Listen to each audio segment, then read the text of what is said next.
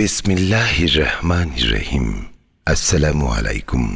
প্রযোজনা ও পরিবেশনায় উল্লাস Islamic asset products, royal plaza, দ্বিতীয় তলা, সিডিএ মার্কেট, আমতল, রিয়াজউদ্দিন বাজার, চট্টগ্রাম।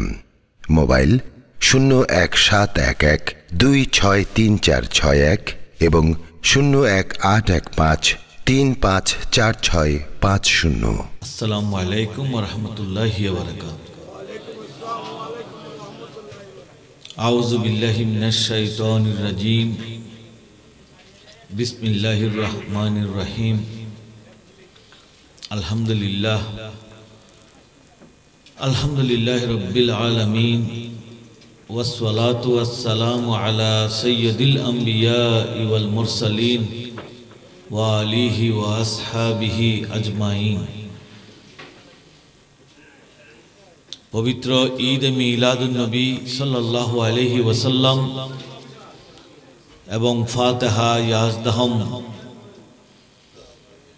উদযাপন উপলক্ষে বহদ্দারহাট মৎস্য আরদ্দার ও পাইকার সমিতির উদ্যোগে আজকের এই মিলাদ মাহফিল মাহফিলে সভাপতিত্ব করছেন আলহাজ মোহাম্মদ ইস্কান্দর সৌদাগর প্রধান অতিথি হিসেবে এতক্ষণ অতীব মূল্যবান নসিহত পেশ করেছেন বাংলাদেশের না সারা এশিয়ার শিষ্য আলেমে দিন।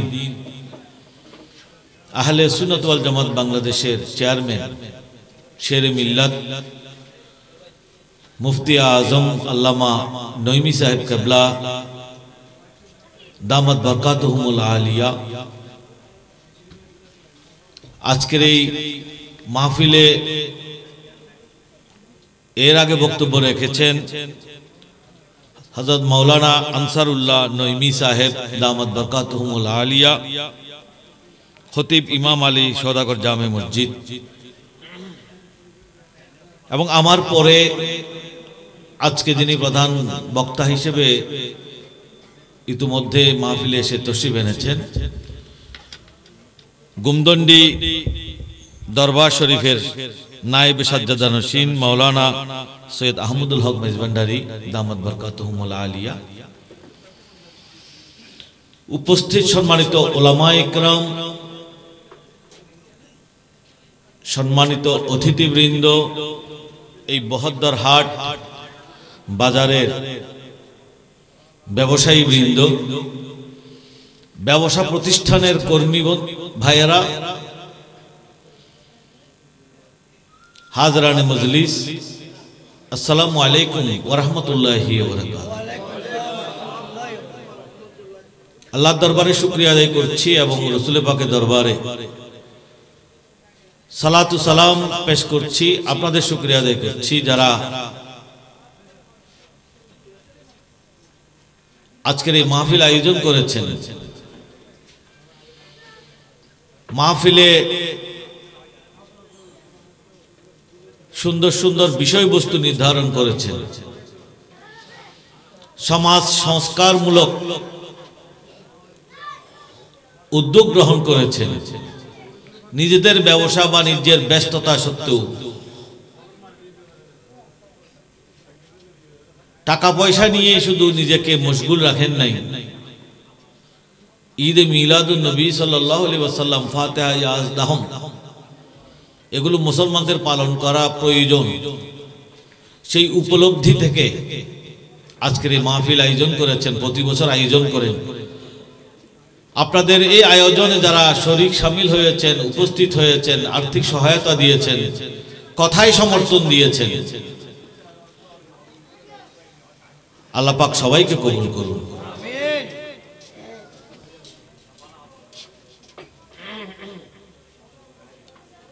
সম্ভবত মাগরিবে নামাজের পর থেকে বা এশার নামাজের পর থেকেই এই মাহফিল চলছে। বিশেষ করে আমার আগের বক্তা মৌলানা আনসারুল্লাহ নইমি সাহেব যখন শুরু করছেন, ঠিক তখনই আমি আসছিলাম। তিনি মদের উপর, মদ বিষয়ে, মদের ব্যবসা, মদ পান করা, এবং সর্বশেষ মদ পান করার পর যে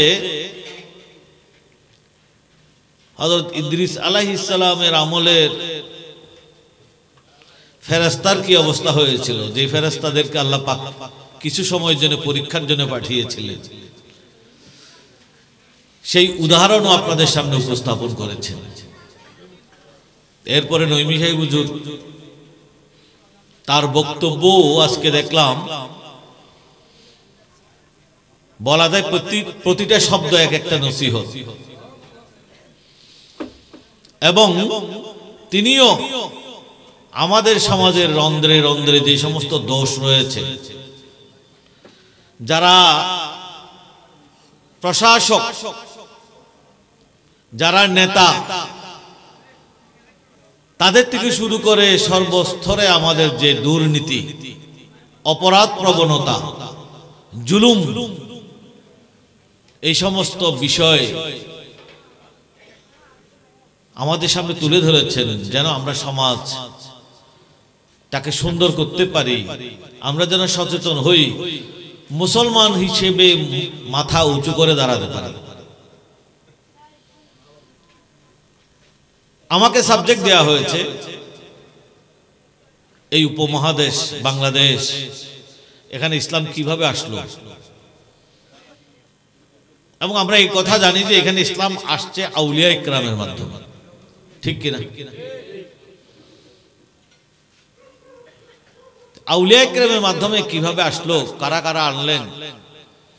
এই সংক্রান্ত কয়েকটি কথা আমি বলব, তার আগেই বলব, আউলিয়া। ওলি কারা? এতক্ষণ আপনারা যারা বক্তব্য শুনেছেন, এতক্ষণ আপনারা বুঝেছেন ফেরেস্তাদেরকে আল্লাহ পাক সররিপু যেগুলো থাকলে অপরাধ করে, সেগুলো আল্লাহ পাক দেয় নাই ফেরেস্তাদেরকে বলছিলেন কিনা? যে কারণে ফেরেস্তারা জানাও করে না, খুনও করে না, অন্য কোনো অন্যায়ও করে না, কারণ এগুলো আল্লাহ পাক তাদেরকে দেয় নাই। কিন্তু মানুষকে দেয়া হয়েছে। মানুষকে পশুর চরিত্র এবং ইবলিশের চরিত্র, যত খারাপ চরিত্র আছে, এগুলোর যে উৎস, যেখান থেকে এগুলো হতে পারে, সেগুলো মানুষকে দেয়া হয়েছে। যে সমস্ত মানুষ সেই রিপুর প্রবৃত্তির চর্চা করে, অনুসরণ করে, তারা আস্তে আস্তে ধ্বংসের দিকে চলে যায়। তারা পশুর চেয়ে নিকৃষ্ট হয়ে যায়, শয়তানের চেয়েও নিকৃষ্ট হয়ে যায়। আর প্রবৃত্তি, কাম, ক্রোধ এবং যতগুলো আছে, এগুলো আল্লাপাক আমাদেরকে দিয়েছেন। কিন্তু আমাদের মতো কিছু মানুষ তারা বুঝতে পেরেছেন, এগুলো আল্লাপাক দিয়েছেন আমাদেরকে পরীক্ষা করবার জন্য। পরীক্ষায় আমাদেরকে পাশ করতে হবে। আর পরীক্ষায় পাশ করতে হলে সেই প্রবৃত্তির বিরুদ্ধে লড়াই করতে হবে। কুপ্রবৃত্তির বিরুদ্ধে, নফসানিয়তের বিরুদ্ধে এমন ভাবে লড়াই করতে হবে যেন নফসানিয়ত আমার কাছে পরাজিত হয়ে যায়।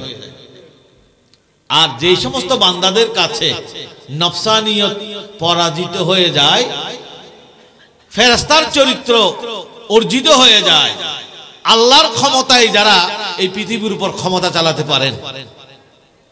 কারণ খারাপ চরিত্র যখন দূর হয়ে যায় ফেরাস্তা চরিত্র যখন তাদের মধ্যে চলে আসে, তখন তাদের সাথে আল্লাহর নৈকট্য তাদের জন্য অবধারিত হয়ে যায়। আর যখন বান্দা আল্লাহর নৈকট্য অর্জন করেন, তখন তাদের হাতে সাধারণ বান্দার হাত থাকলেও সে হাতে আল্লাহর ক্ষমতা চলে আসে। দেখ, আমার মন গড়া কথা না হাদিস শরীফও আছে। হাদিস শরীফে আছে যে, বান্দা যখন এরকম একটা অবস্থার পর্যায়ে যান, আল্লাহর নৈকট্য অর্জন করেন,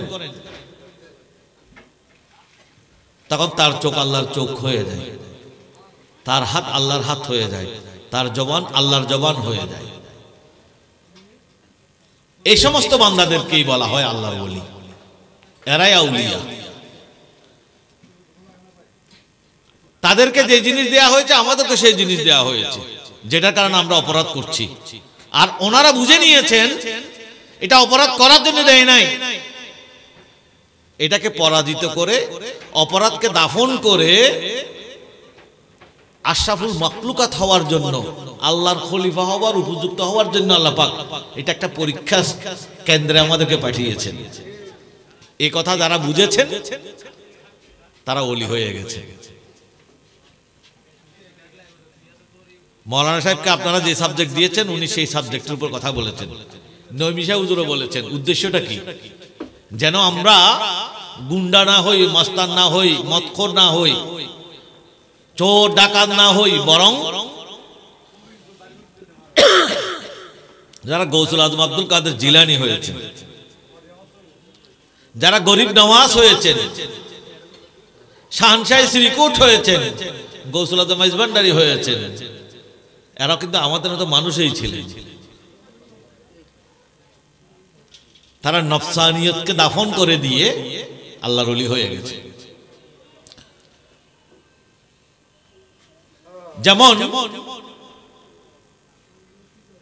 হুজুর কাবলা তৈয়ব শাহ রহমতুল্লাহ তাহেস আমাদ্দাজিলুল আলী উনি বায়াত করানোর সময়ে আমাদেরকে সেই শিক্ষা দেন। ও কম নেহি করেন জিসে আল্লাহ রসুল নারাজ হো। ও কাম করেন জিসে আল্লাহ রসুল রাজি হো। বায়াত করানোর প্রথম সবক, প্রথম ওয়াদা হচ্ছে, ওই কাজ করব না। যে কাজ করলে আল্লাহ এবং রসুল নারাজ হয়। এবং ওই কাজ করব, যে কাজ করলে আল্লাহ রসুল রাজি হয়। এই একটা শিক্ষার উপরে মানুষের কল্যাণ এবং অকল্যাণ নির্ভর করে। এই একটা শিক্ষা যারা, এই অঙ্গীকারকে যারা জীবনে একবার, অঙ্গীকার করেছেন একবার, কিন্তু সমগ্র জীবন মনে রেখে দিয়ে যারা এটার উপর আমল করেছেন, তারা আর সাধারণ মানুষের কাতারে নাই। তারা আশাবুল মাকলুকাত হয়ে গেছেন, তারা অলি হয়ে গেছে। এই জন্য আমাদের হুজুর কাবলাদের হাতে যারা বায়াত হয়েছেন, সেখানে অনেক অলি হয়েছে। অসংখ্য। অলি কপালে নাম লেখা থাকা লাগে না। অলির পিছনে বলতে হবে না তো অমুক ফকির। ফকির না বললেও ফকির বললেও ফকির। যারা ওলি তারা ওলি যারা ওলি নয়, তারা ওলি নয়। ওলি হওয়ার জন্য তার সাইনবোর্ড লাগবে, এমন কোনো কথা নেই। যারা সত্যিকার অর্থে পীরের কথার উপর আমল করেছে, দিনের খেদমত করেছে। যেমন বর্তমান হুজুর কাবলা আমাকে বলেছিলেন, যারা গৌসিয়া কমিটির খেদমত ঠিক মতো করবে, তারা অলি আল্লাহ হয়ে কবর যাবে। তার মানে কি? বোঝা যায়, এখানে অলি হওয়ার সুযোগ আছে। আমরা কি কাজে লাগাবো কি লাগাবো না, সেটা হচ্ছে আমাদের উপর নির্ভর করে। কুপ্রবৃত্তিকে যদি দাফন করা যায়, মানুষ অলি হয়ে যায়।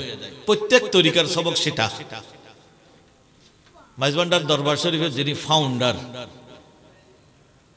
হজরত গৌসুল আজম মাহমুদুল্লাহ মাইজবান্ডারি, তার একটা কথা আছে। আমার ছেলেরা বারো মাস রোজা রাখে। আমার ছেলেরা বারো মাস রোজা রাখে, এই কথার অর্থ কি? এই কথার অর্থ হচ্ছে রোজা মানে বিরত থাকা। রোজা মানে কি? কি থেকে বিরত থাকা? কুপ্রবৃত্তি থেকে বিরত থাকার নাম রোজা। ও কাম নেহি করেঙ্গে জিসে আল্লাহ রসুল, নারাজ। যারা তরিকতে আসে, তারা বারো মাস সচেতন থাকে যেন ওই কাজ না করি, যে কাজ করলে আল্লাহ রসুল নারাজ হয়। আমার ছেলেরা বারো মাস রোজা রাখে, তার কথা, আর আমাদের হুজুর কাবলার বায়েতের কথা একই জিনিস। ভাষাগত পার্থক্য, জিনিস একটা। আমার ছেলেরা বারো মাস রোজা রাখে মানে তরিকতে যারা আসছে, তারা বারো মাস কুপ্রবৃত্তির বিরুদ্ধে লড়াই করে। যারা কুপ্রবৃত্তির বিরুদ্ধে লড়াই আছে, তারা অলি হয়ে গেছে, তারাই ফকির হয়েছে। আর যারা সারা বছর তরিকতের নামও বলছি, দরবারের নামও বলছি, কুপ্রবৃত্তির চর্চা করে যাচ্ছি। তারা নামের আগে পিছনে ফকির লাগাইলেও ফকির হয় নাই। ফকির কারা হয়েছে? যারা নাম লাগাইছে কি লাগায় নাই সেটা বড় কথা না। কুপ্রবৃত্তির বিরুদ্ধে লড়াই করে পীর মুর্শিদকে রাজি করে ফেলেছে। এখানে হাওয়া দাফন করা হয়েছে। এটাও হজরত কেবলার কথা। হাওয়া দাফন মানে কি? হাওয়া শব্দের অর্থ কি? হাওয়া মানে কুপ্রবৃত্তি। এটাও নফসানিয়ত তার মানে কি? এখানে আসিও না, এখানে হাওয়া দাফন করা হয়েছে। অর্থাৎ যে এটা দাফন করতে পারবে না, তার জন্য দরবার নয়।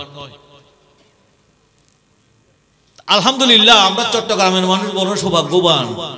এখানে হক্কানি দরবারের সাথে আমাদের সম্পৃক্ততা আছে। ঠিক কিনা? আল্লাহ পাক আমরা যে যে দরবারের সাথে সম্পৃক্ত হয়েছি আমরা যেন তাদের উদ্দেশ্য আমরা বুঝতে পারি এবং তাদের দেখানো রাস্তায় আমরা চলতে পারি। আমরাও যেন কামেল বান্দাদের রাস্তায় চলতে চলতে আমরাও যেন পরিপূর্ণতা লাভ করি, আমরাও যেন কামেল হয়ে যেতে পারি। আল্লাহ পাক সেই তৌফিক দান করুন। এবং সেই সব কামেল বান্দাদের কারণেই আজকে আমরা মুসলমান হয়েছি। ইসলাম আসছে তাদের মাধ্যমে, ঠিক কিনা? এবং তারাও মুরিদদেরকে সেই শিক্ষা দিয়েছেন। হুজুর গৌসুল আজম, শেখ আব্দুল কাদের জিলানি ফাতেহা আজদম আমরা কার জন্য করতেছি? বড় পীর গৌসুল আজম আব্দুল কাদের জিলানির স্মরণে যে মাহফিল, তার নাম ফাতেহা দেখেন শিক্ষা কাকে বললে? তার কাছে বাদশাহ আসছে। মোস্তানজিদ বিল্লাহ। প্রভাবশালী বাদশাহ। আল্লাহর অলিরা কি রাজা বাদশাকে ভয় পায় নাকি? আমরা তো স্থানীয় গুন্ডা মাস্তানকেও ভয় পাই। ঠিক না? সামান্য গুন্ডা মাস্তানকে আমরা ভয় পাই। নমিশা বুঝু যেটা বলছেন, আমাদের মধ্যে একতাও নাই, সাহসও নাই। চাঁদাবাজি যারা করে, তারা আমাদের চেয়ে শক্তিশালী না। আমাদের সাহস না থাকার কারণে তারা চাঁদাবাজি করতে পারে। ঠিক কিনা? কিন্তু আল্লাহর ওলিরা এদের কোনো দলবল নাই, এরা কোনো দলবলের আশা তোয়াক্কাও করে না। তাদের মধ্যে এমন সাহস যে তারা রাজা বাদশাকেও তোয়াক্কা করেন না। যদি এই কথার শুধু এই প্রসঙ্গে বলতে হয়, অনেক কথা বলা যায়। বাদশাহ আসছেন কার কাছে? গৌসে পাকের কাছে। আসবার সময় যেহেতু বাদশাহ আসছে, অলির দরবারে তোফা নিয়ে আসছেন। দশ ব্যাগ সোনা। দশ ব্যাগ সোনা। হুজুর, এই তোহফাগুলো একটু কবুল করুন। হুজুর বললেন, নিয়ে যাও। তোমার এই সোনা চাঁদি আমার দরকার নেই। হুজুর, আমি বড় আশা করে আনছিলাম আপনার কাছে। মেহরবানি করে একটু নেন না। হুজুর বললেন, তোমাকে বলছে, তুমি এগুলো নিয়ে যাও। উনি বারবার যখন অনুরোধ করতেছেন, তখন একটা ব্যাগ অথবা দুইটা ব্যাগ নিয়ে। এমনি করে একটা মোচর মারলেন। স্বর্ণের ব্যাগকে মোচর মারলেন গোসে পাক। আর মোচর দেওয়ার সাথে সাথে স্বর্ণ তরল জিনিস না কঠিন জিনিস? কঠিন জিনিস। স্বর্ণ, যখন স্বর্ণ বলি তখন কঠিন জিনিস। যখন আমরা এটাকে ফিনিশড গোল্ড তৈরি হয়ে যাওয়া স্বর্ণ, তখন কি? এটা কঠিন জিনিস। লোহার মতো শক্ত জিনিস, ভারী জিনিস। কিন্তু আল্লাহর কাছে এগুলি কিচ্ছু না। গোসে পাক হাতে নিয়ে স্বর্ণের থলিকে একটা মোচর দিলেন, আর তাজা রক্ত প্রবাহিতও আরম্ভ হয়ে গেল। সুবাহান আল্লাহ তাজা রক্ত দেখে বাসা নিজে ভয় পেয়ে গেছে। আনছে স্বর্ণ, সেখান থেকে রক্ত বের হচ্ছে। গোসে পাক বললেন, এই মুস্তানজিদ বিল্লাহ জনগণের রক্ত শোষণ করে তুমি যে সম্পদ জমা করেছ, সেখান থেকে আমার কাছে হাদিয়া নিয়ে আসছো।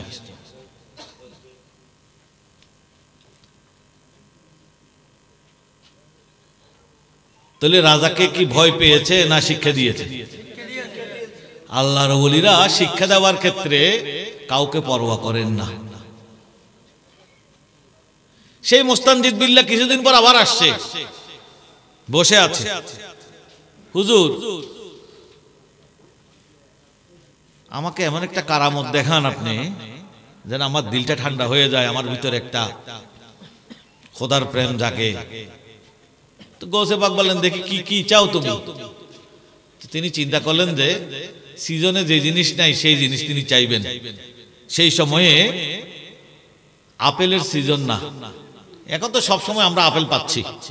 হাইব্রিড হওয়ার কারণে, নানা কারণে, সারা পৃথিবীর সাথে যোগাযোগ থাকার কারণে। সব সিজনে আমরা আপেল দেখতেছি, কমলা দেখতেছি। এটা আজ থেকে নয়শো বছর আগের কাহিনী বলছি। বাসা দানে পৃথিবীতে কোথাও আপেল নাই। তাই গোসে পাকের কাছে তিনি আপেল চেয়ে বসলেন। কারণ বাদশার আবার এই আকিদে আছে। জুলুম করলেও এই আকিদে আছে যে, গোসে পাক চাইলে পৃথিবীতে কোথাও আপেল না থাকলেও আমাকে আপেল খাওয়াইতে পারে। যিনি পারেন, তার নাম গৌসুল আজম। ঠিক কিনা? তৎকালীন বাদশাদেরও আকিদা মজবুত ছিল। এখন রাজা বাদশার আকিদে কি জিনিস সেটার নামও শুনে নেই কোনোদিন। ঠিক কিনা? তো বাসা বলেন, হুজুর, আমি আপেল খাব। গৌসবাক বলেন না যে সিজন না, চলে, আমি কোথেকে আপেল দিব? সে কথা বলেন নাই। গৌসবাক এমনি করে হাত তুললেন? দুইটা আপেল চলে আসছে। গৌসে পাকের উপাধি হচ্ছে দস্তগীর। দস্তগীর মানে হাত লম্বা। এখানে নাই, জান্নাতে তো আছে আপেল। আছে কিনা জান্নাত ওই জায়গার নাম যেখানে সব আছে। ঠিক কিনা তাহলে আপেল আছে নাকি? গৌসে পাক তাকে বলা হয় যিনি জান্নাত থেকে আপেল ছিঁড়ে এনে বান্দাদেরকে খাওয়াইতে পারে। দস্তগীর মানে হাত অনেক লম্বা। যেখানে ইচ্ছে সেখানে পৌঁছা দিতে পারেন, সেখান থেকে যা প্রয়োজন নিয়ে আসতে পারেন। তিনি হুজুর গৌসুল আজম দস্তগীর। একটা গৌসে পাক হাতে নিলেন আর একটা বাদশাকে দিলেন। গৌসে পাক একটা ভাঙলেন সুস্বাদু, সুগন্ধিযুক্ত আপেল। কসকস করে গৌসে পাক খাচ্ছেন। বাদশাকে বললেন, খাও তোমারটা। যখন সে ভাঙলো দেখে যেখান থেকে পোকামাকড় বের হচ্ছে গন্ধ বের হচ্ছে পচা জিনিস। বাসা আশ্চর্য হয়ে গেল। হুজুর, আপনারটা এরকম, আমারটা এরকম কেন? গৌসেপাক বলেন, ওই যে জালিমের হাত লাগছে। জালিমের হাত লাগার কারণে ভালো জিনিসও নষ্ট হয়ে গেছে। সুবহানাল্লাহ। আল্লাহর অলিরা রাজা বাদশাকে ভয় পায়। ভয় পায় না। রাজা বাদশাহ যেই হোক তাকে শিক্ষা দিতে পারে। আমরা রাজা বাদশাহ কেন? আমরা স্থানীয় একটু মাতবর টাইপের হলে তাকেও আমরা তেল মারতে মারতে টায়ার্ড হয়ে যাই। ঠিক কিনা? হুজুর কেবলা সৈয়দ মোহাম্মদ তৈয়ব শাহ রহমতুল্লাহ আলাই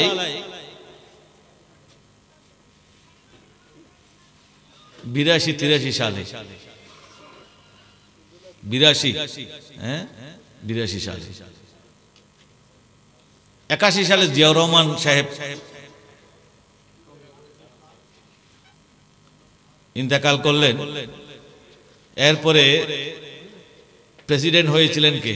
আব্দুল সত্তার সাহেব। মুরব্বীরা বলতে পারবেন, অনেকের এগুলো খেয়াল থাকবে না আব্দুল সত্তার।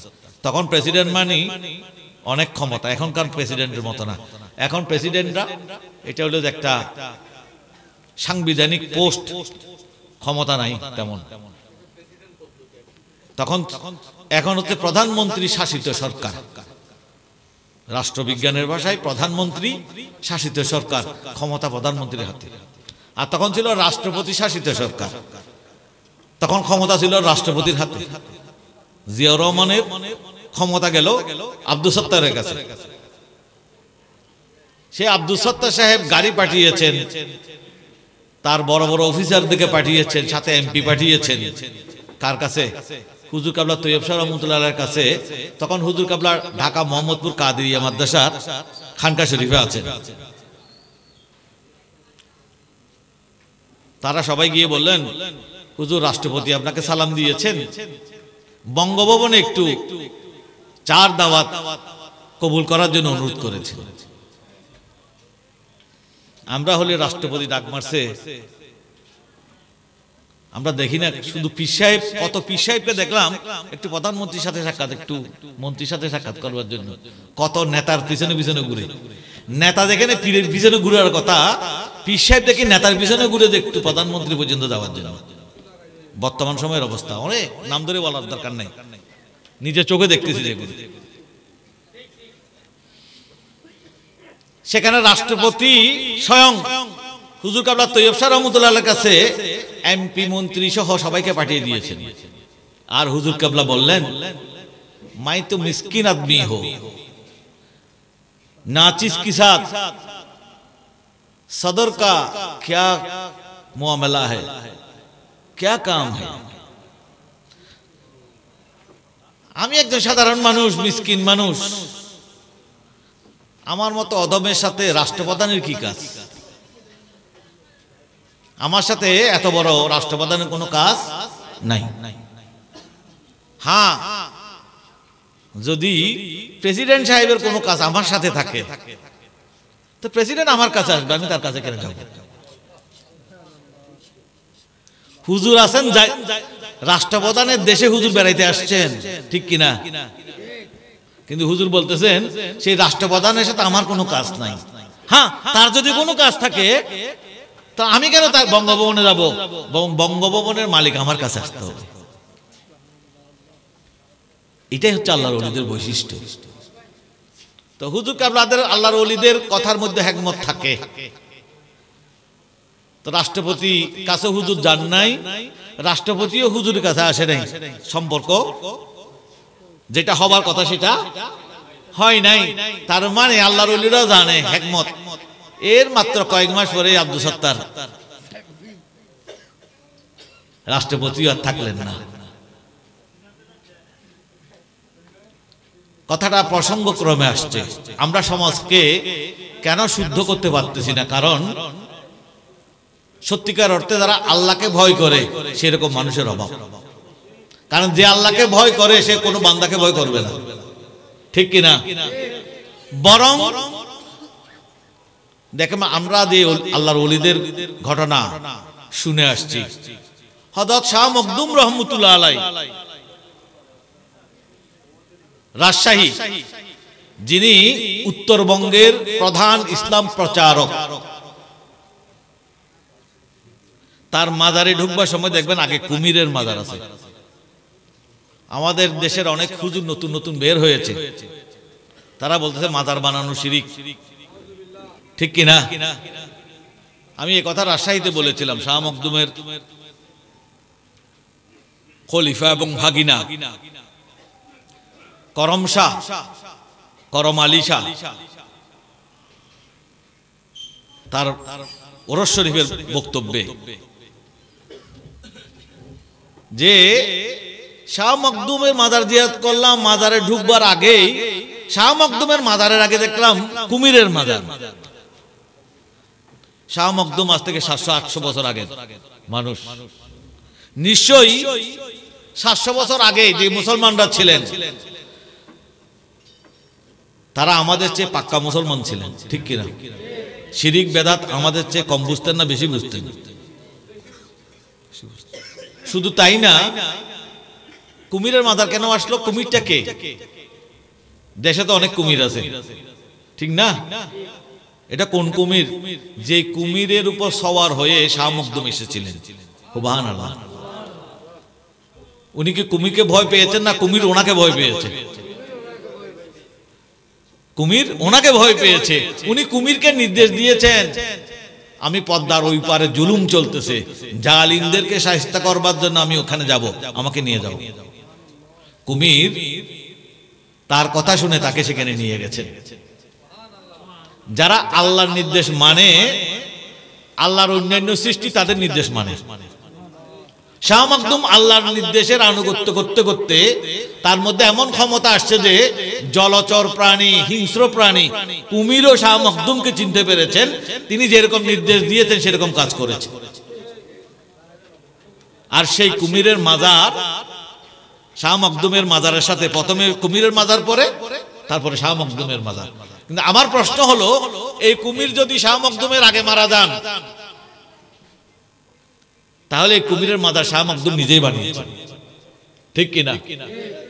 আর যদি পরে মারা যায়, দুইশো বছর পরে, তিনশো বছর পরে তার মারা যায় না, হায়াতের একটা সীমা তো আছে। ঠিক কিনা? তাহলে শাহ মখদুমের সময়ের বা কাছাকাছি সময়ের মানুষগুলো কুমিরের মাদার বানিয়েছে। দ্বিতীয় কথা হচ্ছে, দেখবেন যে হজরত খান জাহান আলী রহমতুল্লাহ আলাই কোথায়? বাগেরহাট, খুলনা। তার যেটা মাজার, এটাকে বাংলাদেশের একটা প্রাচীন কীর্তি হিসেবে সরকার এটাকে সংরক্ষণ করতেছে। কারণ এরকম মাজার, এরকম পুরনো স্থাপনা বেশি নেই। যেগুলো আছে সেগুলো, যেমন ষাট গম্বুজ মসজিদ এবং আরও কয়েকটা খুলনার মধ্যে আছে। শেখ খান জাহান আলী রহমতুল্লাহ আলাই, তার মাজারটা কে বানিয়েছেন? ইতিহাস বলছে শাহ মাকদুমের শাহ খান জাহান আলী রহমতুল্লাহ আলার মাজার। অন্য কেউ বানাই নাই। খান জাহান আলী রহমতুল্লাহ আলাই নিজে ওনার মাজার বানিয়েছেন। বুঝেছেন আমার কথা? শাহ হজরত খান জাহান আলী রহমতুল্লাহ আলাই, ওনার মাজার কে বানিয়েছেন? খান জাহান আলী নিজে বানিয়েছেন। ওনার ইন্তেকালের আগে নিজের মাজার নিজে বানিয়ে, সেখানে প্রয়োজনীয় উপদেশ, নির্দেশ খোদাই করে দিয়ে, ওখানে আবাদত বন্দুকি করে দশ বছর পর তিনি ইন্তেকাল করলেন, সেখানে তাকে দাফন করা হয়েছে। মাজার বানানো যদি শিরিক হয়, শিরিক তো আমরা বই পুস্তকে পড়তেছি যে, আর মৌলবীদের ওয়াজে শুনতেছি। শিরিক চোখে দেখছে কারা? যে সমস্ত আল্লাহর ওলিরা এখানে এসে ইসলাম প্রচার করেছে। ঠিক কিনা? তারা সরাসরি শিরিক দেখেছেন।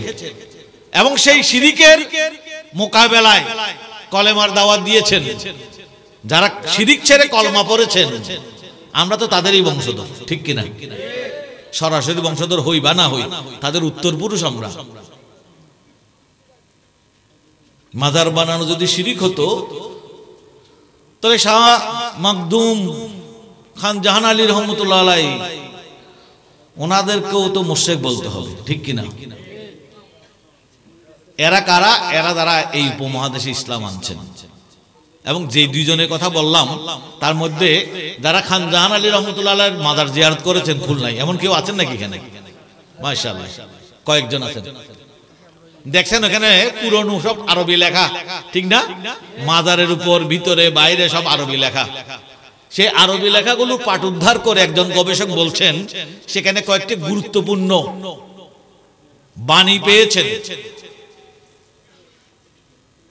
আমি দুইটা বাণী বলব ওখান থেকে।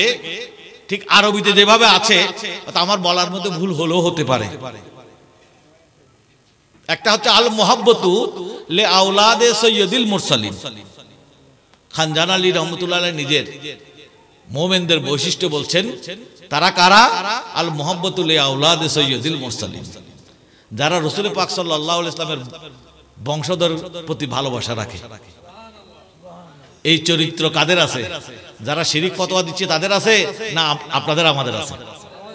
আমাদেরই আছে। বোঝা যায়? কলেমা যারা এনেছেন, তাদের আকিদের উপর সুন্নি মুসলমানরাই অটল আছে। আরেকটা আল মোহতাজু ইলার রহমাতাল্লিল আলম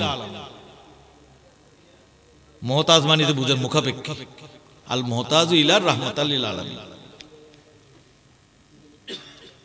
রসুল পাক সাল্লাহ আলহি আসাল্লামের মুখাপেক্ষী হওয়া, তার দানের দিকে চেয়ে থাকা, তিনি দান করবেন, আমরা নেব। নবী দাতা, এই ইমান যাদেরকে আমরা বাতেল বলছি, তারা এগুলিকে শিরিক বলতেছে। আর আমরা বিশ্বাস করি যে, আমার নবী আমাদেরকে দিতে পারেন, ঠিক কিনা? যেখানে গৌসুল আদমের নামেই দস্তগীর। সেখানে আমার নবী দিতে পারেন না। তাহলে বোঝা যায় যারা কলেমা এনেছেন, যারা শিরিক উচ্ছেদ করে, তহিদ রেসালতের বাণীকে প্রতিষ্ঠা করেছেন। যারা শিরিক আমাদের চেয়ে বেশি বুঝেছেন, তাদের আকিদা এখনও অটুট আছে। ঠিক কিনা? পরিচয়টা দিই। খান জাহান আলী রহমতুল্লাহ আলাই সম্পর্কে গবেষণা করে গবেষকরা বলেছেন, তিনি হুজুর গৌসুল আজম দস্তগীরের বংশধর। শুধু তাই না, শাহ মকদুম রহমতুল্লাহ আলাই মাজারে গেছেন, কেউ আছেন নাকি? দেখবেন, শাহ মকদুম রহমতুল্লাহ মাজার শরীফে ঢুকবার সময় আমি তো বলেছি, প্রথমে কুমিরের মাজার তারপরে ওনার মাজারের গেটে ওনার পরিচয় লেখা আছে। ওনার নাম সৈয়দ আব্দুল কুদ্দুস। শাহ মকদুম এটা হচ্ছে উপাধি। তার বাবার নাম সৈয়দ আজাল্লা শাহ। ওখানে সদরা লেখা আছে, সৈয়দ আজাল্লা শাহ বাবার নাম। গৌসুল আজম শেখ আব্দুল কাদের জিলানি তার মানে শাহ মখদুম রহমতুল্লাহ উনিও গৌসে পাকের নাতি। শুধু বংশধর বললে হবে না, সরাসরি নাতি। এবং সেই সৈয়দ আব্দুল কুদ্দুসের শাহ মাকদুমের অপর ভাইয়েরা বৃহত্তর নোয়াখালীতে রয়েছেন।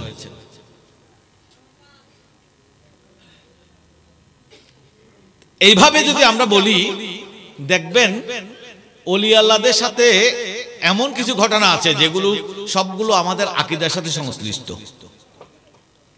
যেমন এখান থেকে এক কিলোমিটারের মধ্যে মুরাদপুরের পর একটি জায়গা আছে, জায়গার নাম কাতালগঞ্জ। ঠিক না? কাতালগঞ্জ নামটা করতে আসলো? কারণ ওখানে একটা মাজার আছে, দেখেছেন? আল্লাহ যেন কোনদিন ভেঙে ফেলে। এটা একবার ভাঙ্গার উদ্যোগ নিয়েছিল, মসজিদ সংস্কারের নামে। যারা মাজার ভাঙ্গে সরাসরি ভাঙ্গে না, নানা কৌশল করে। কৌশলে মাজার ভেঙে ফেলে।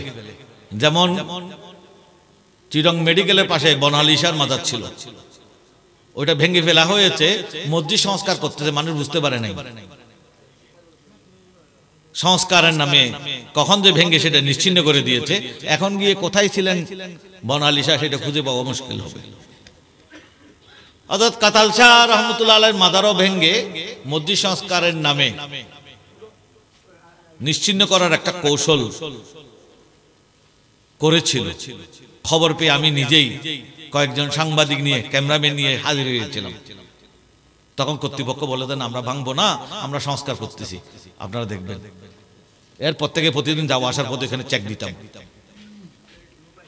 শেষে মসজিদ করার সময় উপরে খালি রেখেছিল, গম্বুজের সোজা। এখন দেখা যায় খালিগুলো আবার ঢালাই করে দেয়া হয়েছে। আস্তে আস্তে আবার সেই ফন্দি ফিকির করতেছে। চট্টগ্রামের কয়েকটি মাজার ভাঙ্গার সময় বাংবার উদ্যোগ নিয়েছে আমি নিজে। সশরীরে গিয়ে হাজির হয়েছিলাম।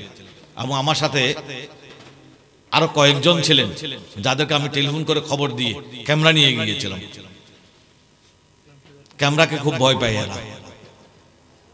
কারণ পত্রিকায় এসে গেলে জবাব দিতে পারবে না। কাতালগঞ্জ। কার নামে? হজরতে কাতালসার নামে। ইনি চট্টগ্রামের বারৌলিয়ার অন্তর্ভুক্ত যারা চট্টগ্রামে ইসলাম এনেছেন।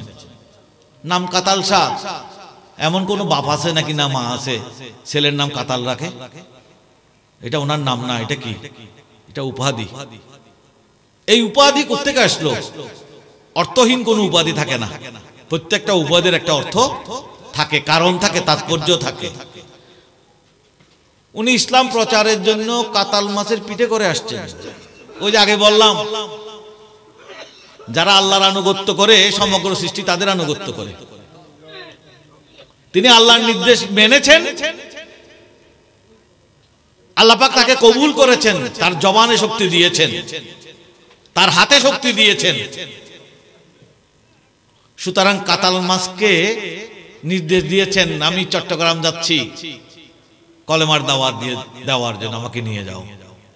কাতাল মাছ সসম্মানে আল্লাহর অলিকে কর্ণফুলি পার করে দিয়েছে বা বঙ্গোপসাগর পার করে দিয়েছে। হয়তো এমনও হতে পারে তিনি কাতাল মাছের পিঠে করে করে ঘুরতেন। সেটাও চট্টগ্রামের মানুষ দেখেছেন। দেখে দেখে কলমা পড়েছেন। কলমা পড়ার পরও তাকে কাতালসা নাম দিয়ে ফেলেছে। শাহ মকদুম যেভাবে কুমিরে করে ঘুরতেন একজন আল্লাহর ওলি সন্দীপে আসছেন। সেখান থেকে বগুড়ায় চলে গেছেন। তিনি বাদশার ছেলে ছিলেন। শাহ সুলতান বলকি মাহিসাওয়ার বাদশারা ভোগ বিলাস, এগুলিতে মত্ত থাকতো। মদ, শরাব নিয়ে বাবার পরে তিনি বাদশাহ হয়েছেন। সুন্দর বিছানা, সুন্দর রুম। অনেক কাজের ছেলে, কাজের মেয়ে আছে। কাজের মেয়ে বিছানা ঠিক করতে গিয়ে এত সুন্দর বিছানা। আহ, একটু যদি শুইতে পারতাম। তার ঘুম আসছে, সে বিছানায় শুয়ে আছে। বিছনা কার? বাদশার বিছানায় কাজের মেয়ে শুয়েছে, ঘুম এসে গেছে। বাদশা এসে দেখল। এটা তো ফাঁসি দেওয়ার মতো অপরাধ। বাদশার রাজপুত্র তার বিছানায় বাঁধি শুয়ে গেছে, ঘুম এসে গেছে। বাদশাহ দেখে তাকে দৌড়া মারলো। যতই দৌড়া মারছে, সে খিলখিল করে হাসতেছে। বাদশাহ আশ্চর্য হয়ে দৌড়া রেখে দিল। জিজ্ঞেস করল, কি ব্যাপার? আমি তোমাকে আঘাত করছি। তুমি যেখানে চিৎকার করে কান্না করবার কথা, সেখানে তুমি আরও হাসছ। ব্যাপার কি?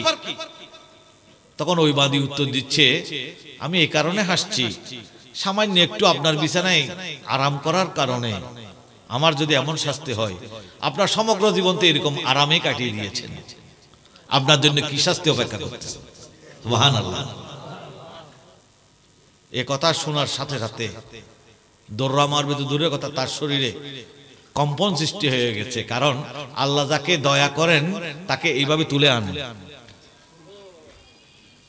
হাজার, আমি নিজে শুরুতে বলেছি, নফসানিয়তকে দাফন করলে ওলি হয়। এটা যেমন ঠিক ঠিক যত কিছু করুক, যত কষ্টই করুক না কেন, আল্লাহর দয়া না হলে আল্লাহর নৈকট্য পাওয়া কখনো সম্ভব না। আর আল্লাহ যাকে দয়া করবেন, সে যদি বিপদগামীও হয়, তাকে সেখান থেকে উল্টা পথ থেকে টেনে এনে তাকে অলি বাড়াই দিতে পারে।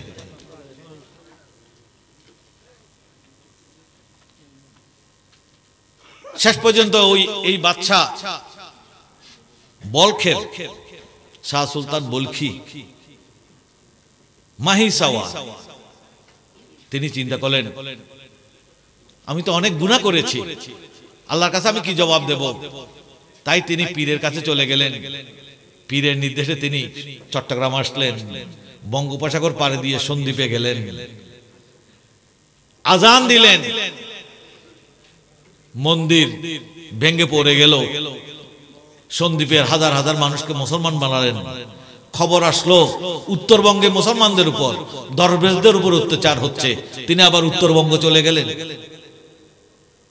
সেখানে তার মাদার শরীফ রয়েছে। বগুড়া যারা গেছেন বা বগুড়ার উপর দিয়ে যারা উত্তরবঙ্গ গেছেন, নিশ্চয়ই দেখেছেন, একটু টিলার উপর একটি মাদার শরীফ রয়েছে, অনেক লম্বা। শাহ সুলতান বলখি, মাহি সওয়াল এই ভাই গেছেন বলছি। শাহ সুলতান বলখি, মাহি সওয়াল প্রশ্ন হলো, মাহি সওয়ার মানে কি? মাহি সওয়ার মানে মাসের উপর সওয়ার। আল্লাহর অলিরা মাছের উপর সওয়ার হয়। আল্লাহর অলিরা বাঘের উপর সওয়ার হয়। আল্লাহর অলিরা কুমিরের উপর সওয়ার হয়। যাদের ইমান মজবুত তারা বিশ্বাস করে। যারা দুর্বল ইমানের এরা বিশ্বাস করতে না পেরে নতুন নতুন শয়তানি যুক্তি তালাশ করে। ঠিক কিনা? যেমন মাহি সাওয়ারের ব্যাখ্যা দিচ্ছে আমার এক স্যার। স্যার হিসেবে শ্রদ্ধা করি, কিন্তু তার ব্যাখ্যা আমার ভালো লাগে নাই। স্যার যে বড় প্রবীণ স্যার,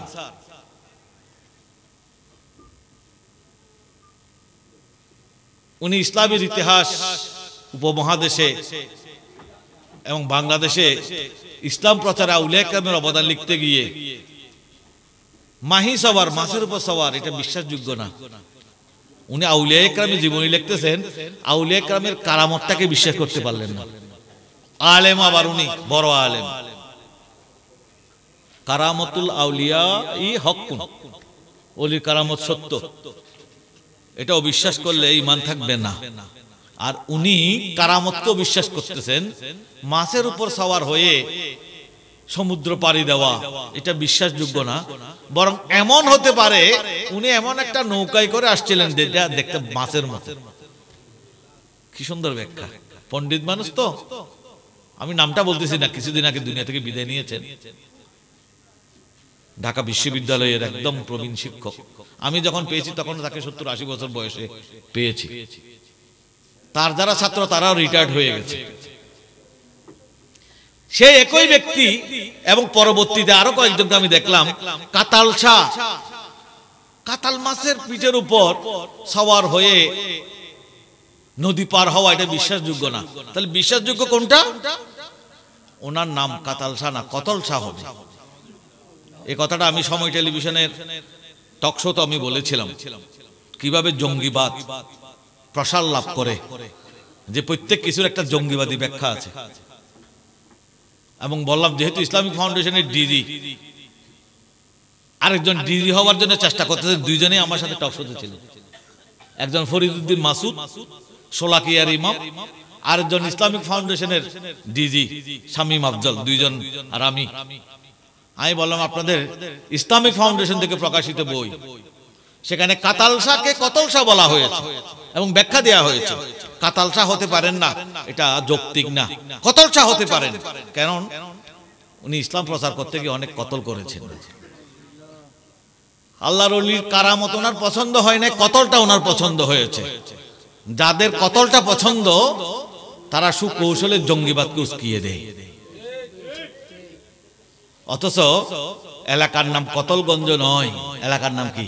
কাতালগঞ্জ জনশ্রুতি এমন একটা ইম্পর্টেন্ট বিষয়। মানুষের মুখে যেটা শত শত বছর ধরে চর্চা হয়, সেটাকে ব্রিটিশ আইনেও আইনের মর্যাদা দেওয়া হয়েছে। সুতরাং আমাদের চট্টগ্রামের মানুষ যখন থেকে মুসলমান, তখন থেকে ওনাকে কাতাল শাহ বলেছে এবং যে এলাকায় উনি আছেন সেই এলাকার নাম কাতালগঞ্জ বলেছেন। নতুন পণ্ডিতরা ব্যাখ্যা দিচ্ছেন কতল শাহ। তার মানে বোঝা যায় কাতালগঞ্জের নামও তো পরিবর্তন করা লাগবে। কতলগঞ্জ বানাতে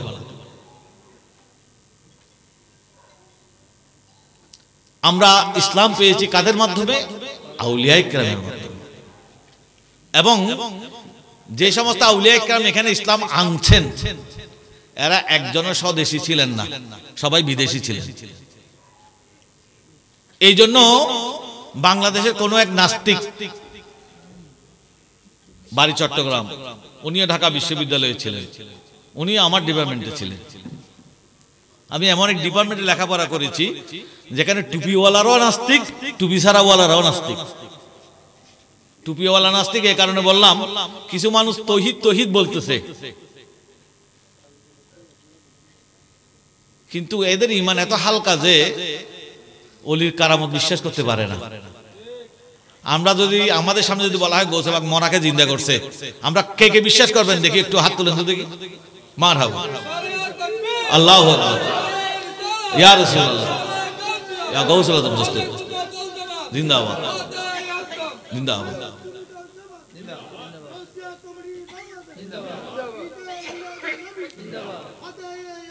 মারহাবা মারহাবা কারণ বিশ্বাস করতে পারা এটা নিজের ইমানের উপর নির্ভর করে, ঠিক কিনা?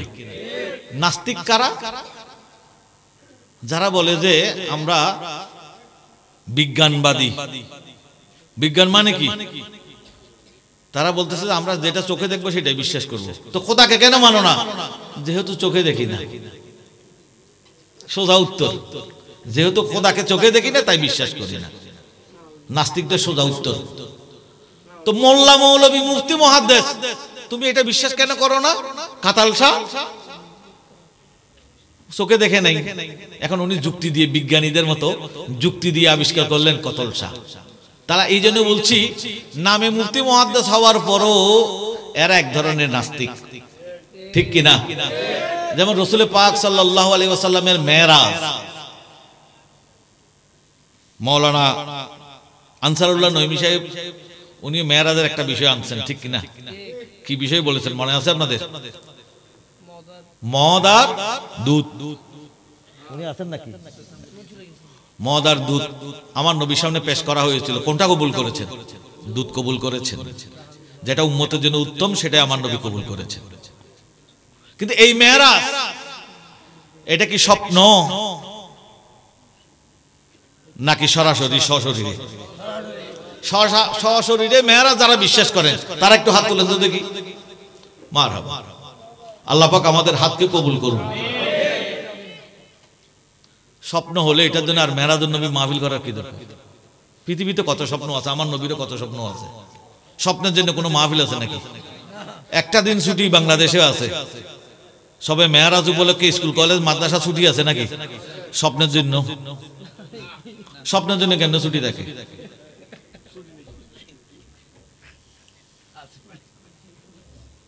আজকে আমি ফেসবুকে দেখলাম মৌলানা কাজী মদিনা সাহেব সাহেবের একটা কথা কেউ কোট করল, যে মৌলানা সাহেবরা দলিল দেয় আর আল্লাহর অলিরা প্রমাণ দেয়। মৌলানারা কি দেয়? দলিল দেয় আর আল্লাহর অলিরা প্রমাণ করে দেয়। ঘটনা বলব একটা? মিশর। ইতুরা হরদম করিব না? ঘটনাস্থল হচ্ছে মিশর তাও রাষ্ট্রপ্রধানের দরবারে। রাষ্ট্রপ্রধান যদি দুই নম্বর হয়ে যায়, প্রজারা দুই নম্বর না হলেও তাকে চাপাচাপি করে দুই নম্বর বানানোর চেষ্টা করা হয়। আর বেশিরভাগ প্রজা মোল্লারা লুবি হয়। লুবি হওয়ার কারণে রাজার কথায় রাজাকে সমর্থন করতে গিয়ে দুই নম্বরকে এক নম্বর বানাই ফেলে। ঠিক না? যারা লুবি মানুষ, তাদের দ্বারা সেটা হতে পারে। মিশরের কোন এক বাদশাহ আলেমুল আমাদেরকে সমাবেশ ডাকলেন এবং বললেন, রসুলে পাকের মেহরাজ, এটা কি সশরীরে? ওলামারা বললেন হ্যাঁ সশরীরে। কি প্রমাণ? যুক্তি কি? ওলামা ইকরাম নানাভাবে যুক্তি দিচ্ছেন। কোরআনের যুক্তি, হাদিসের যুক্তি, ঘটনার দার্শনিক যুক্তি যেগুলো আছে সেই সব যুক্তি দিচ্ছেন যে রসুলে পাকের মেহরাজ কি? সশরীরে। তার জন্য অনেক যুক্তি আছে। আমি মেহরাজের বয়ান দিচ্ছি না। প্রাসঙ্গিক বক্তব্য আসছে সেই কারণে বলছি। কিন্তু বাসাকে মানাইতে পারে না। বাসা বলে যেগুলো আমি বিশ্বাস করতে পারতেছি না। সুতরাং তোমাদের কথা ঠিক না? নবীর মেয়ারাজ হয়েছে স্বপ্নে। এখন বাসার চাপা চাপিতে আলেমদের মধ্যে আস্তে আস্তে সুর নরম হয়ে গেছে। আস্তে আস্তে বাসার দিকে চলে যাচ্ছে। আচ্ছা বাসার আকিদা নষ্ট হলো। আলেমদের আকিদাও যদি বাসা নষ্ট করে ফেলে, তাহলে প্রজাদের আকিদা ঠিক থাকবে। এমন একটা কঠিন সময়ে দরবারে এসে প্রবেশ করলেন একজন। গুদুরি পরা এক দরবেশ। তিনি এসে হাজির হলেন। আসসালামু আলাইকুম, আমি আসছি আপনাদের সাথে মেহরাজের বিষয়ে কথা বলতে। তো বাসা জিজ্ঞেস করলেন, আপনার বিশ্বাস কি? তিনি বললেন সশরীরে নবীর মেহরাজ হয়েছে। আলেমরা তো এতক্ষণ আমাকে অনেক দলিল দিয়েছে। একটা দলিল তো কোনো কাজের না। আমি তো বিশ্বাস করি না। তা আপনার কাছে কোনো দলিল আছে? উনি বলে, দলিল আমি প্রমাণ দেব। দলিল তো আপনি মানেন নাই এতক্ষণ। প্রমাণ দেব। কি প্রমাণ? অনেক আছে, তার মধ্যে একটা হলো যে তিনি বললেন, একটা, এক বল পানি নিয়ে আসেন। পানি আনা হলো। বাদশাকে বলেন আমার কথা মতো একটু কাজ করতে হবে। বলেন, করব। দেখি, একটু অজু করেন। বলের পানিতে অজু করেন বাদশাহ যেই মাত্র অজু করবার জন্য হাত দিয়েছেন, বাদশাহ দেখতে পেলেন তিনি কাজটা হচ্ছে রাজদরবারে। সৈন্য আছে, সামন্ত আছে আলেমুলামা আছে, রাজার কর্মচারীরা আছে। কিন্তু যেই মাত্র তুমি বলের মধ্যে জামের কি আমরা চট্টগ্রাম ভাষা যেটাকে জাম বলি, বড় গামলা। হাত ধোয়ার জন্য যখন হাত ডুবালেন, সাথে সাথে তিনি দেখলেন একটা সমুদ্রের মধ্যে তিনি জাহাজ সেই জাহাজ ডুবে যাচ্ছে। তিনিও ডুবে গেলেন। অনেক লোক ডুবে মারা গেল। আর উনি কোনো প্রকারে সাতরায় কুলের উপর উঠলেন। উনি আর রাজদরবার দেখতেছেন না গামলাও দেখতেছেন না মানুষজনকেও দেখতেছেন না। উনি দেখতে চলে গেছেন আরেক জগতে। তার কাপড় চোপড় নষ্ট হয়ে গেল। তিনি কান্নাকাটি করতেছেন। হাই হাই হাই আল্লাহ কি করল? কোথেকে এক দরবেশ আসলো? সে আমাকে অজু করতে বলল। আর ডুবাই দিল সমুদ্রের মধ্যে। আমি যদি একবার যেতে পারি, দরবেশের আমি বারোটা বাজাই সার এখন রাস্তাঘাট চিনতেছে না, জঙ্গল। সমুদ্রের পারে বেশিরভাগ জঙ্গলেই থাকে। সেখানে কান্নাকাটি করতেছে কাপড় চোপড়ও নষ্ট হয়ে গেছে খাওয়া দাওয়া আর কিছু নাই। বন জঙ্গলে হাঁটতেছে, কিছু পাইকিনে দেখতেছে। কাঠুরিয়া, কয়েকজন কাঠুরিয়ার সাথে সাক্ষাৎ হলো। কাঠুরিয়া ছিলেন তো? যারা লাকড়ি টাকড়ি বিক্রি করে। কাঠুরিয়ারা এই লোককে দেখে চিন্তা করতেছে এরকম লোক তো আমাদের এখানে নাই, এটা কে? কোথেকে আসলো? কাপড় চোপড় আবার। উনি নিজের কোনো পরিচয় দিলেন না, আমি অমুক জায়গার বাদশা লজ্জা লাগতেছে। কাদা মাটিতে ভরে গেছে কাপড় চোপড়। তিনি বললেন, ভাই, আমি একজন সদাগর মানুষ। এক দেশে গিয়েছিলাম ব্যবসার জন্য।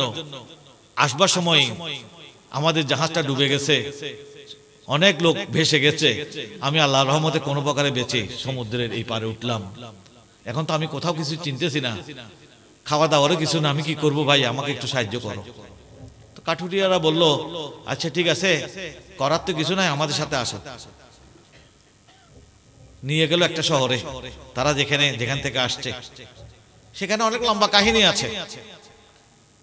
তাকে চলতে হবে। কীভাবে চলবে সে? থাকবে কেমনে?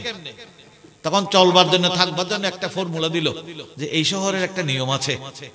কোন বড় লোকের মেয়েকে তুমি পছন্দ করো, তাকে বিয়ে করে ফেলো।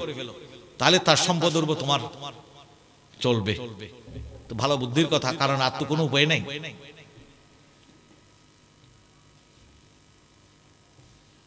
একটা মেয়েকে পছন্দ করল, যেখানে মেয়েরা সেখানে আসে, ওখানে বিভিন্ন বিদেশিরা আসলে সেখান থেকে চয়েস করা হয়। চয়েস করে যাকে যেটাকে ইশারা করে চয়েস করে সেটাকে সাথে বিয়ে যদি দুইজনে রাজি হয় তারপর তার বাড়িতে নিয়ে যায়। এই শহরের রেওয়াজ হচ্ছে সেটা। সেই হিসাবে এই বাদশাহ একটা মেয়েকে পছন্দ করলেন তার অনেক সম্পদ আছে। তার বাড়িতে গিয়ে উঠলেন সাত বছর আরামায়েসে কাটাই দিলেন। কারণ বাদশাহ তো এমনি অভ্যাস আরামায়েশ। এখানেও আরামায়েসে কয় বছর গেল? সাত বছর সাত বছরে। সাতটা সন্তানও হয়ে গেছে। সাত বছরের মধ্যে সন্তানটা বড় হচ্ছে। এখন সাতজনের সাথে আরও দুইজন মিলে কয়জন লোক নয় জন এই সাতজন নয় জন এগুলো খেতে খেতে বাসার ধন হতে শেষ হয়ে যাবে। কোনো ইনকাম নাই, খালি খাওয়া। খরচ। একদিন বউ বলল, সাত বছর তো আপনি আমার সম্পদের উপর। চললেন। এখন আপনার নিজের সাতটা সন্তানের কথা ভেবে আপনি মেহরবানি করে একটু বাইরে যান, গিয়ে কিছু ইনকাম করেন। বেচারা কি ইনকাম করবে, সে তো সবসময় আরামায় এসে সুন্দর বিছানাই ঘুমানো ছাড়া তার আর কোনো কাজ নাই। তাকে নিয়ে যাওয়া হলো। মিস্ত্রিগিরি, সেটাও পারে না। এমনকি কুলিগিরি দেওয়া হলো। সেখানে কুলিদের সর্দারের পছন্দ হয় না। কারণ কুলির সর্দারও কাকে পছন্দ করবে যে কুলিগিরি জানে? সুতরাং কোনো টাকা কামাইতে পারে না। মন দিল খারাপ হয়ে আজকে যাই ফিরে আসে। একদিন চিন্তা করলে হাই হাই এক দরবেশের পাল্লায় পরে আজকে আমার। এই অবস্থা। মনে পড়তে পড়তে হঠাৎ করে দূরে যখন তাকালো, ওই যে সমুদ্রের পানি দেখা যায়। আমি তো ওখানে তো, ওখান থেকেই তো আমি আসছিলাম একদিন। দেখি আজকে একটু দেখি আসি সাত বছর হয়ে গেছে। ওখানে গিয়ে আচ্ছা নামাজের টাইম হয়ে গেল, একটু অজু করি। অজু করবার জন্য যে মাত্র পানিতে হাত দিল, দেখল চারিদিকে সব মানুষ। ওই গামলার সামনে সে উপস্থিত। গামলার কথা বলছিলাম নাকি? কয় বছর কেটে গেছে? সাত বছর, আবার গামলার সামনে। সময় কতক্ষণ গেছে? বাদশাহ মনে করতেছে তার সাত বছর চলে গেছে। হঠাৎ করে চারিদিকে দেখল, কোনো কথা নাই। এই দরবেশ কই? আগে দরবেশকে বান। আমার জীবনে সাতটা বছর শেষ করে দিল। আমি গিয়ে বিয়ে করলাম, আমার সাতটা সন্তান হলো। হাইরে হাইরে আমি কুলিগিরি করলাম, আমি মিষ্টিগিরি করলাম। উল্টা পাল্টা চিল্লাচ্ছে। এখন লোকজন বলতে স্যার, আপনি কি বলতেছেন? আপনি এই মাত্র উজুতে উজু করার জন্য হাত দিলেন আর হাত তুলে বলতেছেন, আপনার সাত বছর চলে গেছে, সাতটা সন্তান। এই এক সেকেন্ডের মধ্যে সাতটা সন্তান ঘুরতে আসলো। বাদশাকে তারা বুঝাইতে পারে না। তারা বাদশাকে বুঝাইতে পারে না। বাদশা বলে, একটা কথা বলি না, আমি আমার জীবনটা শেষ হয়ে গেল। আমি কুলিগিরি করছি, আমি উমুককে বিয়ে করছি, সেখানে আমার সাতটা সন্তান। আমি জাহাজে ডুবে গেছি। কিসের জাহাজে ডুবলো? এই লোক এই লোকগুলো এটা বিশ্বাস করতেছে? না, কারণ তারা দেখছে মাত্র উজু করতেছে। হাত দুকাইলো হাত তুললো। কতক্ষণ সময় গেছে? এক সেকেন্ড। এই লোকগুলো বিশ্বাস করতেছে না রাজার কথা? বাদশার কথা? বাদশাও বিশ্বাস করতেছে না এই লোকগুলোর কথা। কারণ ঘটনা যেটা তার সাত বছর তার উপর গেছে। সেটাকে এক সেকেন্ডে ভুলে যাবে। এক পর্যায়ে যখন চিলাভাল্লা চলতেছে, দরবেশ সাহেব বের হয়ে চলে গেছে। দরবেশ চলে গেছেন তার জায়গায়। সেখান থেকে চিঠি লিখলেন বাদশাজি আশা করি এতদিনে আপনার বুঝে আসছে নবীর মেয়েরা সশরীরে হয়েছে। কারণ আপনার মতো দুর্বল ইমানের বাদশাহ আপনি যদি এক সেকেন্ডে সাত বছর কাটাই দিয়ে সাতটা সন্তানের জন্ম দিয়ে আসতে পারেন সমুদ্রে ডুবে যেতে পারেন, গুলিগিরি করতে পারেন। এত কাজ যদি আপনি সেকেন্ডের মধ্যে, মুহূর্তের মধ্যে আপনার মতো দুর্বল বাসা করতে পারেন, আমার নবী কেন মুহূর্তের মধ্যে খোদার খোদাই ভ্রমণ করে আসম আল্লাহ, লোহ, কলম সব দেখে খোদার সাথে কথাবার্তা বলে আবার চলে আসতে পারে? আল্লাহ আজম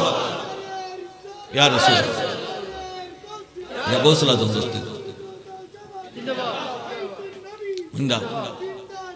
জিন্দাবাদ। জিন্দাবাদ। মৌলানা সাহেবরা দলিল দিলেন, বাদশাকে মানাইতে পারলেন না। সেই দেশের জনগণের উপর আল্লাহ রহমত আছে, তাই দরবেশ আসলেন। তিনি দলিল দিলেন না, ডাইরেক্ট প্রমাণ দিলেন। নবীর মেয়ারাজ কীভাবে হয়েছে, সশরীরে? এই আল্লাহর অলি কে? জানা দরকার আছে কিনা? নাকি এটা আমি একটা গল্প বললাম যে কিচ্ছে কিচ্ছা না উনি হচ্ছেন হজরত শেহাবুদ্দিন উমর সরোয়ার দি রদি আল্লাহ উনি মিশরে আসছেন বাগদাদ থেকে।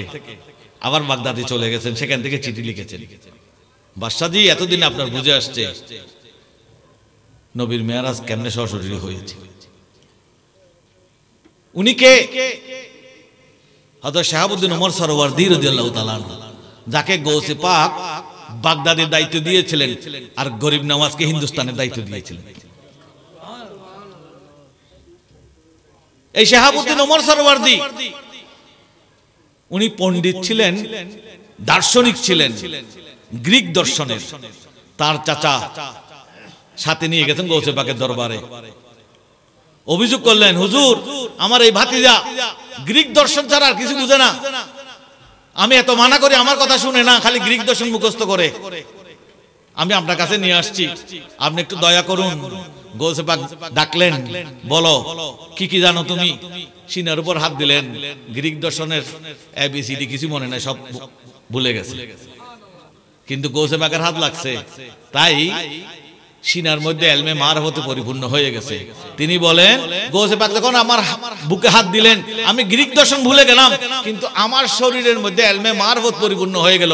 আমি বসে থাকতে পারলাম না, আমি মজলিসে সবার সামনে দাঁড়ায় গেলাম এবং এলমে মার হতের উপর এমন এক তকরির করলাম, সবাই আমার দিকে হা করে দেখে আছে। তার মাধ্যমে একটা তরিকা আছে সেটা নাম সরোয়ার দিয়া তরিকা। মাইজবান্ডার দরবার শরীফে যে সজারা, সেই সজারা কিন্তু কাদেরিয়া তরিকার সজারা।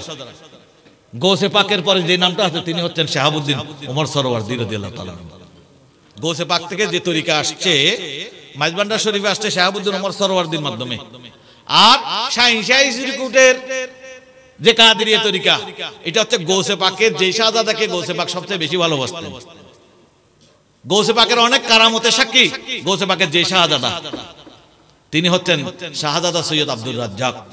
সদর শরীফ আপনারা পড়েছেন। কেবলায়ে ও শাকে হজরত সৈয়দে আব্দুল রাজ্জাক। খাজা বুসাল এ নজর গৌসুল ওয়ারাকে ওয়াস্তে অসংখ্য কারামত আছে গৌসে পাকের যেখানে অনেকগুলোতে শাহজাদা আব্দুল রাজ্জাক জড়িত।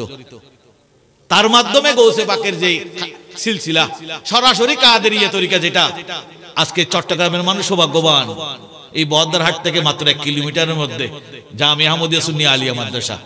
যে মাদ্রাসার বাণী শাহী রিকুট হজরত সৈয়দ আহমদ রিকুটি যিনি কাদেরিয়া তরিকার এই পতাকা পেয়েছেন, যে পতাকা আসছে সরাসরি গৌসে পাকের শাহজাদাদের মধ্যে যিনি, যাকে গৌসে পাক সবচেয়ে বেশি পছন্দ করেছেন, তার মাধ্যমে যে সিলসিলা আসছে, সেটাই সিলসিলা আলিয়া কাদেরিয়া। আমি কথা বাড়াবো না এই উপমহাদেশে ইসলাম আসছে আউলিয়া ক্রামের মাধ্যমে। আমি কিন্তু ধারাবাহিকতা বজায় রেখে কথা বলি নাই। আমি যদি এখন জিজ্ঞেস করি, দেখব যে আমরা সবাই অলি আল্লাহরা কেমনে ইসলাম আনছে, কে আগে আনছে, কে পরে আনছে, এগুলি সম্পর্কে এখন জিজ্ঞেস করলে আমি আলেমুল আমাদের প্রতি সম্মান রেখে বলব, ওনাদেরকে বলব না। আমরা অধিকাংশ মানুষ ভুল বলব। আমি একটা ক্লাস করি সেই এই বিষয়ের উপর, ইমাম ট্রেনিং এ প্রথমে গিয়ে প্রশ্নটা করি। প্রশ্ন করার সাথে সাথে দেখি ইমাম সাহেবরা সবাই ভুল বলতেছে। এটা কোনো আসলে ওই খেয়াল, ইতিহাস সম্পর্কে সচেতন না থাকার কারণে। যেমন আমি যদি বলি, ভারতবর্ষে সর্বপ্রথম কে ইসলাম নিয়ে আসছেন? বলেন তো দেখি। এই আমার পিছনেই বলছেন খাজা আজমির। খাজা আজমির ভারতবর্ষে কোন সালে আসছেন? এগারোশো বিরানব্বই সালে। খাজা আজমিরের বছর আগে আসছেন সুলতান মাহমুদ গজনবী, যিনি শতবার ভারত অভিযান করেছেন। তারও আরও বছর আগে আসছেন। যিনি আরবদের মধ্যে সিন্ধি বিজয় করেছেন, মোহাম্মদ বিন কাসিম বারো খ্রিস্টাব্দে। ঠিক কিনা? তারও আগে বাংলাদেশে ইসলাম আসছে। বর্তমানে সেটা পাওয়া গেছে। আমি নিজের চোখে দেখে আসলাম, লালমনিরহাট একটি জায়গা আছে, জায়গার নাম হারানো মসজিদ। জায়গার নাম কি? হারানো মসজিদ। গিয়ে দেখলাম সেখানে একটা মসজিদ আছে। মসজিদটা বানানো হয়েছে খুব রিসেন্টলি বেশি দেরি হয়নি। কিন্তু তার ইতিহাস হচ্ছে, এখানে বাঁশ বাঁশ গাছ ছিল, বাঁশ ঝাড়। সেটা লেভেল করতে গিয়ে মাটির নিচে থেকে ইট। এমন কিছু ইট পাওয়া যাচ্ছে, যে ইট কেউ চিনতেছে না কত বছর আগের ইট। আমাদের এখানে ইট পাওয়া গেলে এটা একশো বছর আগের ইট হইলেও মানুষ চিনবে। দুইশো বছর আগের ইট হইলেও চিনবে। এরা কেউ চিনতেছে না। এবং সবাই ধারণা করল এটা হাজার বছর আগের। তাই মুসলমানের আগে হিন্দুর আগে আসলো। এরা মোমবাতি টোমবাতি জ্বালিয়ে প্রতিদিন পূজা শুরু করে দিল। মুসলমানরা হিন্দুদের পূজার অবস্থা দেখে তারা সরে গেল। কারণ হিন্দুদের ধারণা এত পুরনো ইট এটা নিশ্চয় কোনো মন্দির ছাড়া আর কিছু না। এবং হিন্দুদের জোর দেখে মুসলমানরা সরে গেল, কারণ হিন্দুদের মনোবল বেশি দেখা যাচ্ছে। এবং মুসলমানরা মনে করতেছে এটা তো হিন্দুদের রাজ্য ছিল, নিশ্চয়ই এটা পুরনো কোনো মন্দিরই হবে। আর পুরনো জিনিস সংগ্রহ করে কারা? আমি একটু আগে বলেছি খান জাহান আলী রহমতুল্লাহ মাজার এবং খুলনার বেশ কিছু স্থাপনা সরকার সংরক্ষিত করে রেখেছে। কারণ এগুলো পুরনো নিদর্শনের মধ্যে ইতিহাস থাকে। তাই সরকারি লোকজন খবর পেয়ে তারা গেল। তারা গিয়ে তাদের তত্ত্বাবধানে যখন খনন কাজ হলো, এক পর্যায়ে আল্লাহ রহমতে একটা পাথর পাওয়া গেছে এটা হচ্ছে বড়। সেই পাথর আমি নিজে চোখে দেখে আসলাম।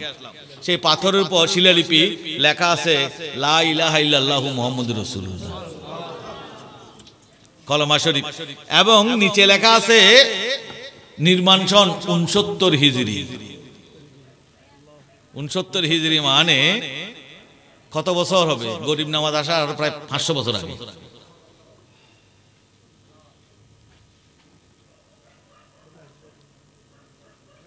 এই- শিলালিপির দ্বারা কি প্রমাণিত হলো? উনসত্তর হিজড়ি মানে একষট্টি হিজড়ির ক বছর পর? আট বছর পর। আমি অবশ্য ওখানে খাতার মধ্যে লিখে আসছি। ওখানে যে কি বলা হয়? দায়িত্বশীল ব্যক্তিদেরকে মতামত লেখার জন্য মতামতের একটা বই দেয়া হয়। আমি সেখানে দেখলাম যে সব সরকারি অফিসাররা লিখেছে, বড় বড় গবেষকরা। আমিও সেখানে কয়েক লাইন লিখে দিলাম। যেহেতু উনসত্তর হিজড়িতে এই মসজিদ পাওয়া গেছে, এটা তার কেউ কাঁধে করে আনে নাই। নিশ্চয় তার উনসত্তর হিজড়ির আগে মানুষগুলো আসছে যারা এই মসজিদ বানিয়েছেন। তারা কারা হতে পারেন? নিশ্চয়ই কারবালার ময়দানের মুসলমানরা যে দুই ভাগে বিভক্ত। ইমাম হুসাইন রাজিয়াল্লাহ তালাহুর পক্ষে এবং এজিদের পক্ষে। শাসক ছিল এজিদ এবং এর পরবর্তী শাসকরাও উমাইয়া শাসক ছিলেন। আর এই সময়ে ইমাম হুসাইন রাজিয়াল্লাহ তালাহুর পক্ষের মুসলমান যারা ছিলেন। তারা মক্কা শরীফ, মদিনা শরীফে সহজভাবে থাকতে পারেন নাই। তারা আত্মরক্ষা করে দিনকে রক্ষার খাতিরে তারা নিজেদের মাতৃভূমির মায়া ত্যাগ করে আমাদের এই ভারতবর্ষের বিভিন্ন জায়গায় চলে গেছেন এবং তারা যেখানে গেছেন সেখানে কলমার দাওয়াত দিয়েছেন এবং মসজিদ বানিয়েছেন, খানকা বানিয়েছেন। এবং আরেকটা জিনিস প্রমাণিত হলো, ঢাকা সহ বাংলাদেশের কিছু মসজিদে কলেমা পুরোপুরি নাই। তথাকথিত সালাফি, আহলে হাদিস।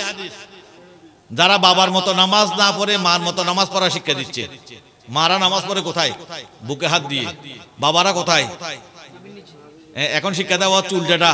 মার মতো নামাজ পড়া শিক্ষা দিচ্ছে একটা শ্রেণি, বাচ্চাদেরকে। তারা নিজেদেরকে দাবি করে আহলে হাদিস। তারা হচ্ছে মূলত লা মজাহাবি কোনো মজাব নাই। শয়তানের মজাব অনুসরণ করে। তারা শিক্ষা দিচ্ছে কলেমা। কলেমা কতটুকু? লাইলা হাইল্লাহ এটাই কলেমা। মোহাম্মদ রসুল্লাহ কলমার অংশ না, নাউজিবিল্লাহ। এই কারণে অনেক মসজিদে দেখা যাবে যে এখন কলেমা মুছে দেওয়া হচ্ছে। শুধু লাইলা হাইল্লাহ রাখা হচ্ছে। তো এই আহলে হাদিসের জন্ম হয়েছে কয়দিন হয়? আর লালমনিরহাটে পাওয়া মসজিদ, উনসত্তর হিজরির মসজিদ, যেখানে কলেমা পাওয়া গেছে লাইলাহ মোহাম্মদ রসুল্লাহ বুঝা যায়, যারা আমাদের জন্য ইসলাম আনছেন, কলেমা আনছেন, তারা হুবহু যে কলমা আমাদেরকে দিয়েছেন, সুন্নি মুসলমানরা, তাদের সকল আকিদের সাথে কলমাটাও হুবহু ঠিক রেখে গেছে। সত্যিকার অর্থে অলি আল্লাহদের ইসলাম কারা কবুল করেছেন, কারা সংরক্ষণ করেছেন, তাদের নামই আহলে সুন্নাত জামাত। আজকে আমরা আমাদের কলেমার দলিল, আমরা সেখানে পাচ্ছি। তারা আর কিছু খুঁজে না পেয়ে বলছে, এটা আবু হানিফা, ইমাম, আমরা যে ইমাম আজম বলছি। আমাদের ইমামের নাম কি? ইমাম আজম আবু হানিফা রহমতুল্লাহ আলাই আমাদের মজাবের নাম কি? হানাফি মজাব। এখন ওয়াজ মাহফিল এগুলো বলতে হবে সবসময়। কারণ আমাদের সন্তানদেরকে বলছেন, মজাব বলতে কিছু নেই।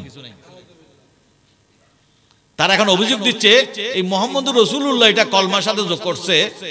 ইমাম আজম আবু হানিফা। কিন্তু ইমাম আজম আবু হানিফার জন্ম কোন সালে? আশি হিজরি আর যে মসজিদের কথা বলছি, ইমাম আজম আবু হানিফার জন্মের আরও আগে। তার মানে কি? উনসত্তর হিজরি মানে যেখানে ইমাম আদম আবু হানিফা আশি হিজরিতে জন্ম নিয়ে সাহাবি সাক্ষাৎ পেয়েছেন। তাহলে বোঝা যায়, আমাদের এই কলেমা, এটা সাহাবিদের কলমা ছিল। নবী এবং সাহাবিদের কলমা আমরা অনুসরণ করতেছি, মানা আলাইহে ওয়াল সাহাবি। যেই দলে আমি আছি আর আমার সাহাবারা আছে, সেই দলেই নাজাত প্রাপ্ত দল, আর সেই দলের নাম আহলে সুন্নাত ওয়াল জামাত। হুজুর গৌসুল আজম দস্তগীর থেকে শুরু করে, গরিব নওয়াজ থেকে শুরু করে, এই উপমহাদেশে যারা ইসলাম আনছেন, আলহামদুলিল্লাহ, সুন্নি মুসলমানরা তাদের আকিদা এবং দেওয়া নিদর্শনের উপর বরাবর অটল আছে। আল্লাহ পাক অটল থাকবার তৌফিক দান করুন। আসসালামু